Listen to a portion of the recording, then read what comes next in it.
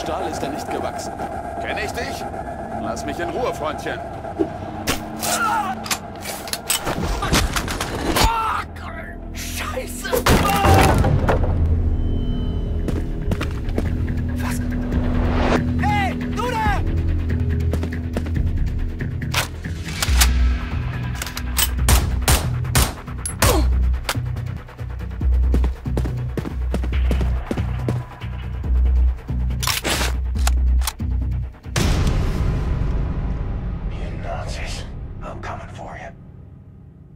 Ich habe Geräusche aus der Altstadt gehört. War das vielleicht der Amerikaner, über den Helga mit Herrn Schreiner gesprochen hat? Ich denke nicht. Er muss schon tot sein. Wahrscheinlich sind das diese untoten Dinger. Hast du etwa Angst, Hans? Vielleicht?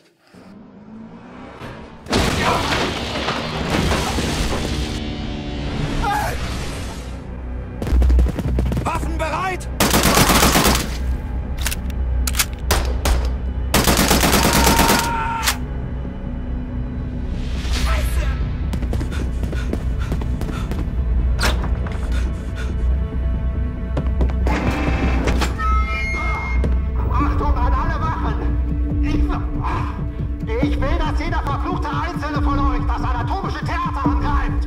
Dort ist eine dreckige Ratte auf der Flucht! Ich will das Schwein tot sehen!